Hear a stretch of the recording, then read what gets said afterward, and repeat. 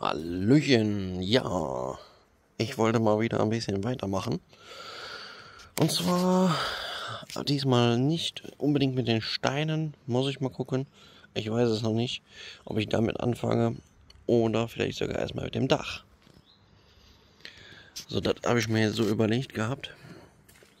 Ähm, von dem hier habe ich noch einen zweiten, der kommt dann auf die andere Seite. Nicht am Ende, sondern Hälfte ungefähr. So, hier wird natürlich noch abgeschnitten. So. Und äh, natürlich kommen auch noch Querlatten da rein, das ist klar. Und ich denke mir mal, so könnte man das lassen. Wir gucken jetzt mal, ähm, ob eventuell von dem Pavillondach, oh, ihr seht es nicht, hier nicht vielleicht die ersten zwei ersetzt werden müssen. Ähm, muss ich morgen mal schauen. Könnte nämlich sein, dass sie ersetzt werden müssen. Dann kann der nämlich da drunter quasi, wenn die ja eh ersetzt werden. Der ist zu kurz, das weiß ich. Das weiß ich, da werde ich was anderes nehmen. Der ist auch viel zu dick. Also das sind 8 äh, und die hier haben 5 cm, also viel zu dick. Ähm ja, das ist so jetzt mein Plan. Ich bin jetzt gerade mal am gucken hier. Ja, doch, der steht da, ist klar. Gerade gedacht, der steht nicht. Aber so ungefähr könnte man sich das vorstellen. Wenn es mal so ein bisschen weiter weg geht, so vom Dach her gesehen, ist auch eigentlich schräg genug, meiner Meinung nach, dass das Regenwasser runterkommt. Natürlich kommt der jetzt noch ein klein Stück tiefer, aber das reicht auch vollkommen aus fürs Regenwasser. Bin ich ehrlich, also äh, das muss nicht so schräg sein wie das Dach hier, das wäre Quatsch. Deswegen ist das so eigentlich ganz gut schon. Dann haben wir hier auch einen kleinen Überstand. So, und wenn das Dach da drauf kommt, die Platten, das war mein Ziel, nämlich OSB-Platten und dann ähm, quasi Dachpappe oben drauf. Dann kommt hier unten drunter eine Regenrinne dran, damit das schön ablaufen kann hier runter. Kommt irgendwo da hinten, irgendwo hier hinten eventuell dann ein Fallrohr hin. Oder aber ich ziehe die Regenrinne bis hinten durch das gleiche dann hier vorne. Quasi der Balken ist ja jetzt Abschluss, weil der Abschluss hier neben, warum? Weil auch die Steine hier neben abschließen. Die sind so breit. So, und deswegen der Dachabschluss hier oben. Und äh, ja, warum sind die Klammern da? Warum habe ich die festgemacht? Weil die noch nicht festgeschraubt sind. Das habe ich jetzt erstmal gemacht, um erstmal ein Bild zu kriegen, wie es aussehen könnte. Aber ich denke, könnte man so machen. ich sag viel könnte. Ich weiß, ähm, weil ich mir aber auch nicht hundertprozentig sicher bin, ob das so eine gute Idee ist. Aber ich denke schon. Ähm, wie gesagt, der ist natürlich noch viel zu hoch, klar. Aber habe ich euch ja gerade erklärt. Und ähm, ja, ich denke, wir probieren das mal aus. Ich mache dann morgen, ich versuche mal morgen die beiden unteren hier, muss ich mal gucken, die Dachpappe mal abmachen, weil die muss sowieso ab, weil das undicht. Aber ich vermute mal, dass er nur an diesem Viereck hier undicht ist, hier oben. So, und äh, genau deswegen, ja, ich muss mal gucken. Ich schaue mir das morgen mal an. Jetzt kommt ja die Sonne gerade raus. Ich, einen halben Tag hat er eigentlich nur geregnet. Aber gut. Ähm, das ist so der Plan für jetzt erstmal. Und ich hole euch wieder dazu, wenn ich, äh, ja, wenn es weitergeht.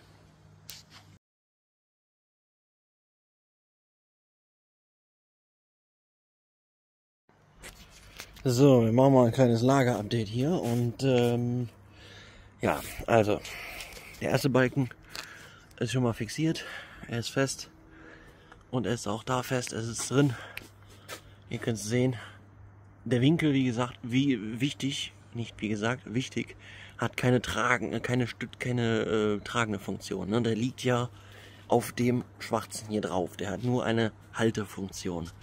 Also es ist nicht ganz dramatisch, wenn es keine ähm, hier keine versteiften Winkel sind. So, ich werde auf jeden Fall noch welche organisieren. Und äh, ja, jetzt kommt hier der zweite. Jetzt kommt da der zweite. Ich habe die Ecke hier, hier rausgenommen mal, dass ich den anderen Balken hier vernünftig, ähm, vernünftig reinmachen kann. Ich kann mal kurz hier, hoch, äh, hier hoch. So. Also, jetzt kommt der Balken quasi hier neben. Hier wird auf den, auf den hier draufgelegt. Dann kommt hier auch wieder ein Winkel dran, dass er den festhält in der Position. Ähm, ja, die anderen Bretter hier, die muss ich wieder hier dran machen danach dann. Und, aber diesmal mit Schrauben, die sind nämlich alle genagelt, die Dinger. Und wenn ihr jetzt mal hier drunter guckt, wird Zeit, dass das mal gemacht wird. Ähm, weil hier sind nämlich, als ich das hier losgemacht habe, heute, heute Mittag, da war hier alles voller Ameisen. Also hier sind Ameisennester drunter. Und ich meine, guckt euch mal die Schicht der Pappe an. Na, ich weiß nicht, wie oft man da Pappe drüber gemacht hat. Keine Ahnung. War ich nicht bei. Ich habe jetzt hier unten die unterste Schicht Pappe weggemacht, dass das Brett frei liegt. Jetzt muss hier natürlich wieder Pappe drauf. Aber ist kein Problem. Erstmal warte ich damit, weil wenn das Dach drauf kommt, kommt das eventuell bis ganz an, der, an den Rand hier dran. Das heißt, ich kann dann da drüber direkt die Pappe setzen. So, dann hast du dann einen schönen Übergang. Wie ich dann die Löcher mache, muss ich mal überlegen. Hier genau das gleiche. So, ganz zu Anfang habe ich natürlich einen Fehler gemacht und bin hingegangen und habe hier abgeschnitten, auch da auf der Seite abgeschnitten und dann fiel auf einmal das halbe Brett hier runter. Und klar, hat ja keine stützende Funktion mehr. Also musste ich mich, musste ich improvisieren. Zeige ich euch. Und habe hier eine Latte drunter gesetzt. Erstmal. Erstmal. Das gleiche auf der anderen Seite auch. Da ist auch eine Latte drunter. Erstmal, wie gesagt. So, ich muss mal gucken. Ich glaube, von diesen Dingern habe ich auch noch welche. Ähm, ja, wir schauen mal, wie das jetzt so wird. Ich lasse mich mal überraschen. Ich hole euch auf jeden Fall gleich mal dazu, wenn jetzt weiter Balken auch wieder hier drin ist und ich dabei bin, die, die, die Dinger wieder festzumachen.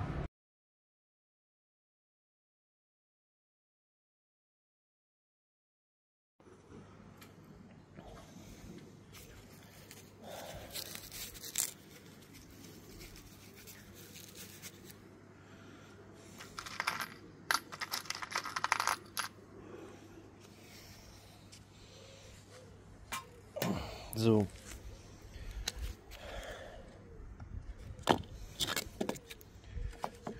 Jetzt muss ich hier erstmal die Ecken wieder befestigen.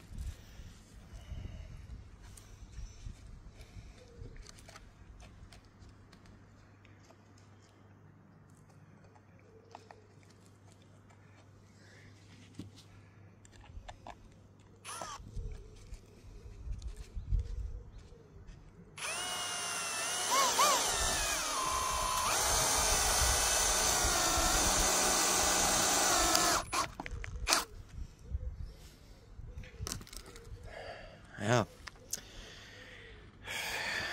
Klar, du hast jetzt natürlich hier die offene Lücke. Das ist logisch. Ja, alles voller Dreck, ey. Den Dreck habe ich mir eben erstmal schön über den Kaps gekippt. Aber gut. So, jetzt muss die Ecke hier hin. So. Sondern ist das, seht ihr, könnt ihr ja gut gucken, dann habt ihr hier schon mal wieder eine kleine eine Möglichkeit, da eventuell irgendwie eine Verbindung stattfinden zu lassen. Ähm, ja, müssen wir mal gucken. Schau mal eben ein Schräubchen hier.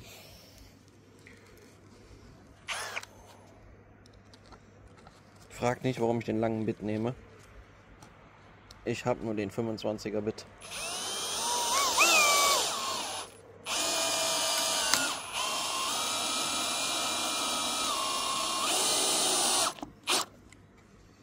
Man merkt auf jeden Fall, dass das Holz alt, äh, bleib liegen, dass das Holz alt ist, weil es ist schon leicht gerissen. Gut. Jetzt kommt das letzte Brett noch. Hier krabbeln immer noch die Ameisen. Sind noch nicht alle raus. Aber gut, jetzt muss ich mal dann überlegen, wie ich das hier veranstalte. Das ist noch so eine Frage. Mal gucken. Ich weiß es ehrlich gesagt noch nicht. Aber mir wird schon irgendwie eine Lösung einfallen, wie ich das hier am besten veranstalten kann, dass die Lücke zu ist. Und dann müssen wir sowieso ja mal eben gucken, wie wir das am schlausten machen. Ich werde gleich mal eins von den USB-Platten hier oben drauflegen. Eine von den USB-Platten. Bis quasi ranschieben und dann mal gucken, wie das aussieht.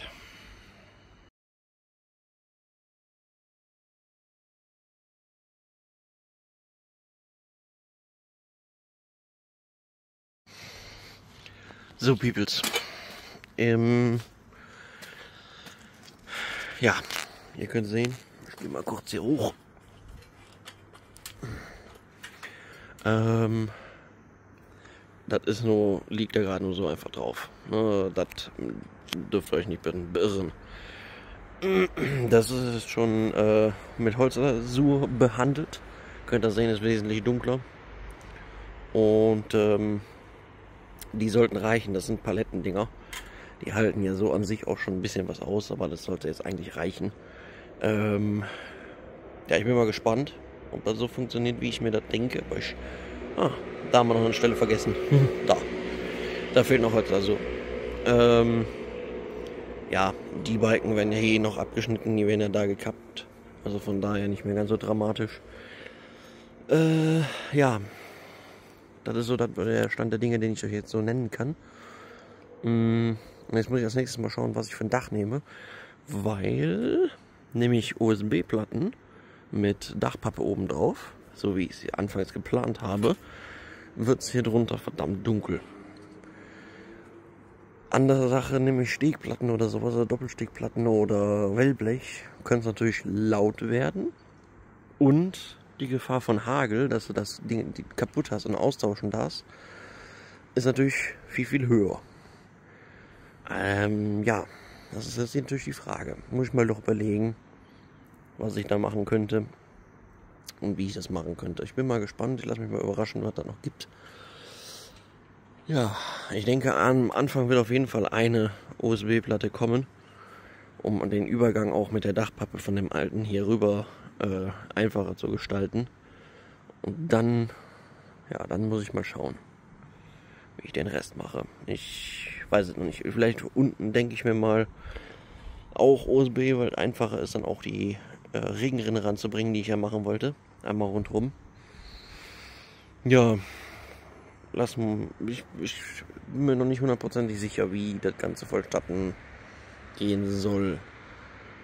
Ähm, ja, mal schauen.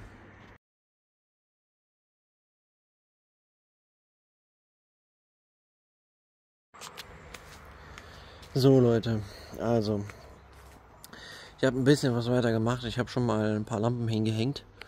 Die zwei links und rechts sind für außen. Da hinten hängt noch eine in der Mitte. Quasi, die bleibt in der Mitte. Für innen drin, dann auf der Theke und allem. Und äh, ihr seht, ich habe das schon so ein bisschen verkabelt auch. Daneben kommt jetzt noch ein zweiter Schalter, der ist dann für die Außenlampen. Der eine, der da schon dran ist, der ist für die Innenlampe. Ja, der Kanz habe ich hier oben in dieser Röhre verlegt, geht dann hier innen rein, daran. Ähm, ist alles auch wasserfest, äh, wetterfest, also von daher passiert da nicht so viel dran. Das Dach kommt die Tage, muss ich erst USB holen. Ich habe mich jetzt für USB-Platten entschieden mit Dachpappe oben drauf. Kann ich euch dann ja zeigen, wenn es soweit ist. Hm. Das wird dann aber erst im nächsten Video geschehen. Für dieses Video soll es das gewesen sein. Es ist so brüllend heiß. Ich zeige euch mal eben was. Ich habe hier was für die Tierchen ein bisschen aufgebaut. Wasser. An die muss man ja auch denken. Ne? So. Aber 48 Grad in der puren Sonne. Ich weiß nicht, was ich da noch so sagen soll, Leute. 48 Grad, ey. Ohne Scheiß. Ja, das soll es auf jeden Fall für das Video gewesen sein. Wenn es euch gefallen hat, drückt gerne einen Daumen hoch. Schreibt was Nettes in die Kommentare und vor allen Dingen gerne konstruktive Kritik dürft ihr gerne schreiben oder auch Verbesserungsvorschläge, gar kein Problem. Und dann sehen wir uns beim nächsten Video. Also, macht's gut, haut da rein. Ciao, ciao.